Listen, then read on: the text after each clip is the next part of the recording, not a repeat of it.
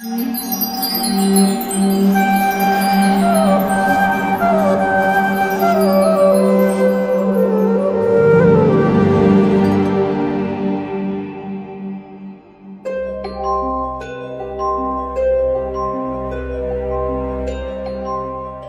happens to us when we die?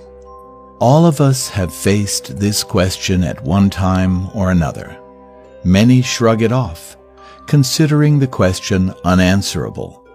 The Vedic literature answers this profound question by outlining broad principles that shape the soul's journey after the body dies. It consists of three successive stages. 1. The soul leaves the present body. 2. It travels to the location of its next body. And 3. It enters the next body. 1. The soul's exit from the body. Vedic wisdom explains that death actually occurs when the soul permanently leaves the gross material body. At the time of death, the soul normally exits from one of the nine holes in the body which the Vedas refer to as the nine gates the two eyes, the two ears, the two nostrils, the mouth, and the two excretory organs. The Brihadaranyaka Upanishad 4.4.1 to 2 describes the soul's departure. At the time of death, the area of his heart becomes lit, and by that light, the soul departs either through the eye, the head, or through other apertures of the body. And when he departs, the pranas, or life airs, follow him to his next destination. His knowledge and his deeds follow him, as does his previous wisdom, if not specific details of his former life. Souls that are spiritually evolved generally depart from one of the seven holes in the head, whereas souls that have yet to sufficiently evolve depart from one of the two other holes. The point through which a soul departs indicates its next destination.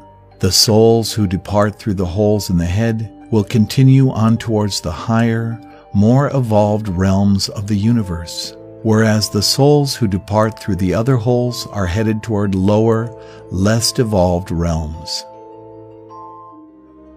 2. The soul's journey to the next body. When the soul sets off on its journey to the next body, it is given a transitional body that is grosser than the subtle body and subtler than the gross body. Equipped with this body that the Vedic literature calls preta, the soul is taken by nature's arrangement to its next destination. The soul often finds this journey painful because in its present condition it is highly susceptible to pain. To help ease the soul's pain, the Vedic literatures like the Garuda Purana recommend that the relatives of the deceased person perform certain activities whose merit cushions the soul's onward journey. 3. The soul's entry into the next body. Srimad Bhagavatam 3.31.1, a classic of the Vedic library, outlines one of the typical pathways by which the soul enters the body. The soul is made to enter into the womb of a woman through the particle of male semen to assume a particular type of body. What determines our next body? Which body a particular soul gets is determined by the broad principles that underlie the mechanism of reincarnation. This soul, after having thrown away the old and useless body, makes unto himself newer and hopefully better bodies according to his previous actions, ability, and desires.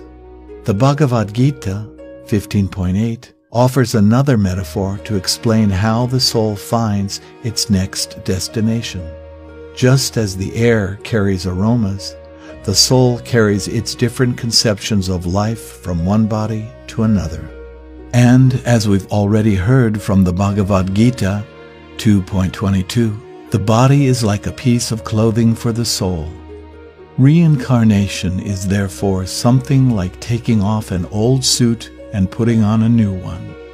Just as what suit we wear is usually determined by our taste and our budget, the soul's new suit is determined by its desires, its attachments, and the karma it has acquired.